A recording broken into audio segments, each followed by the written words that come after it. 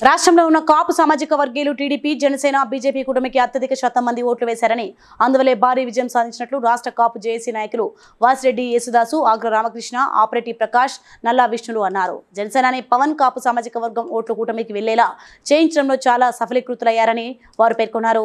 శుక్రవారం కాకినాడలోని శుభం కాపు కళ్యాణ మండపంలో రాష్ట్ర కాపు జేఏసీ ఆధ్వర్యంలో టీడీపీ జనసేన బీజేపీ మహాకూటమి విజయోత్సవ కార్యక్రమం నిర్వహించారు. ఈ సందర్భంగా జరిగిన విలేకరుల సమావేశంలో వారు ప్రసంగించారు.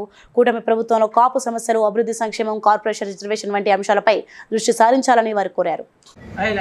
ఈరోజు రాష్ట్ర కాపు తెలగ బలిజ కులాల సంబంధించి రాష్ట్ర జేఏసీ పెద్దలందరూ కూర్చుని మొన్న జరిగిన ఎన్నికలు పదమూడో తారీఖు జరిగిన ఎన్నికలు దాని గురించి ముఖ్యంగా చంద్రబాబు నాయుడు గారికి పవన్ కళ్యాణ్ గారికి నరేంద్ర మోడీ గారికి కూడా ధన్యవాదాలు తెలియజేస్తా ఉన్నాం.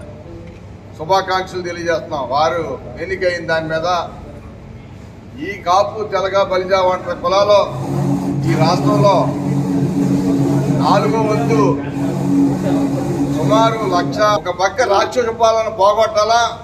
మరో పక్క రాముడు పాలన తెచ్చుకోవాలా? ఈ రెండు బేరీ చేసుకుని పవన్ కళ్యాణ్ గారు మరి నాకు సీట్లొద్దు వద్దు ముఖ్యమంత్రులొద్దు వద్దు ఈ రాష్ట్ర ప్రజలే నాకు రాష్ట్ర ప్రయోజనాలే నాకు ముఖ్యమని చెప్పిన పవన్ కళ్యాణ్ గారి మాటకే రాష్ట్ర ప్రజలతో పాటు కాపు తెలగ బలిజ కులాలు కూడా నైంటీ పర్సెంట్ ఓటేసి ప్రతిపక్ష పార్టీకి ఒక్క కాపు ఎమ్మెల్యేని కూడా శాంపుల్ కూడా కాపులు ఇవ్వలేదంటే నేను చాలా గర్వపడు రాష్ట్ర ప్రయోజనాలు కూడా కాపాడాలని కాపులంతా ఒక తాటి మీదకి వచ్చి ఓటేశారు.